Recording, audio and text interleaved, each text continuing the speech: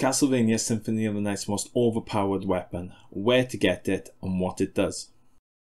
The Crissaegrim is Castlevania Symphony of the Night's most overpowered weapon and is not too hard to get. You only have to go to the inverted castle, go to the library and the third room to the right of the entrance. There is a schmoo that will just move back and forth. I don't know why this creature has the most overpowered weapon in the game, but it does. It'll move back and forth. You can literally enter the room, slash it, and walk out. Eventually it will drop.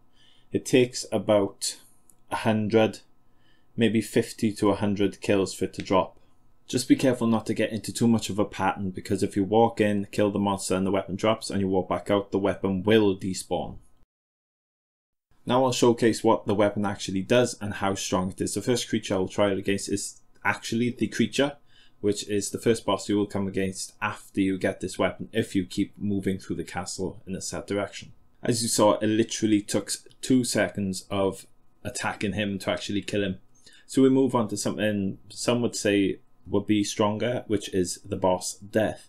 Now, I'm not going to say it's much different, but he dies rather quickly.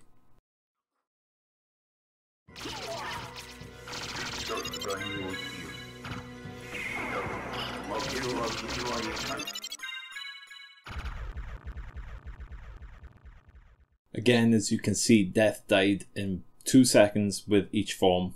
It shredded him to bits. So now the actual real test, which is Galamoth, considered the hardest boss in the actual game, even higher than Dracula himself.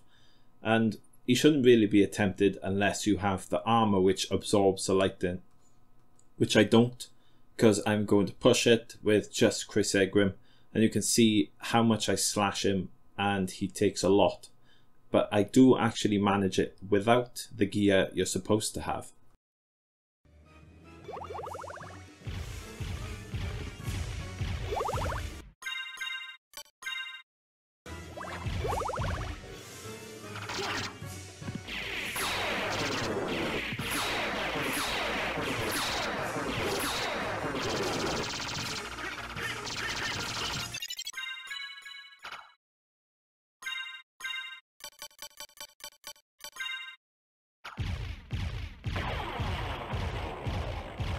Wow, um, I forgot how actually bad I played that fight, but as you can see, I just cut him to shreds and I beat him while playing like an absolute noob. So, Crissaegrim is the most overpowered weapon in the game. It'll just shred any boss you come up against and any enemy you come up against that can be killed. I hope you enjoyed the video. It was just a short video showing you where to get the weapon and what it does.